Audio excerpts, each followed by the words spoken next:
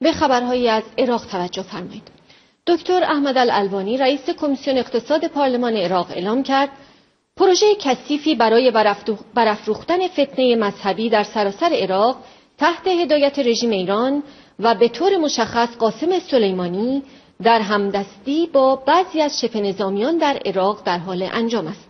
تلویزیون بغداد با اعلام این خبر گفت دکتر الوانی درباره علت حمله تبلیغاتی به خودش گفت این حملات به این دلیل است که رژیم ایران ناراحت و خشمگین شده که پروژهش در عراق آشکار و مفتضح شده است. همانطوری که گفتم طرح رژیم ایران منفجر کردن مرقد حضرت زینب در سوریه و منفجر کردن مرقد امام موسی کاظم در بغداد بود. این رژیم به بهانه دفاع از اماکن مقدس از داخل ایران برای بسیج عمومی فتوا صادر می کند. در حالی که هدف واقعیش کشتار جمعی و نسل کشی است.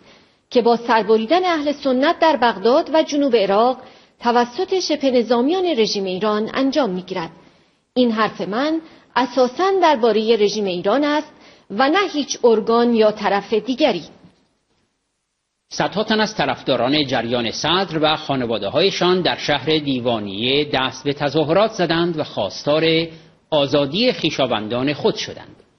آنها از سازمان های حقوق بشری و بین المللی خواستند که درباره نقض حقوق بشر زندانیان تحقیق کنند. خانواده های اعتراض کننده تأکید کردند تظاهرات خود را تا برآورده شدن خواسته هایشان توسط دولت مالکی ادامه خواهند داد. شمار تلفات انفجار دوازده خودروی بمبگذاری شده در نقاط مختلف بغداد به بیش از پنجاه نفر رسید. دهها نفر نیز بر اثر این انفجارها مجروح شدند. تلویزیون الجزیره با اعلام این خبر گفت انفجارها در مناطق پرجمعیت شهر انجام گرفت و این امر باعث افزایش تعداد قربانیان است.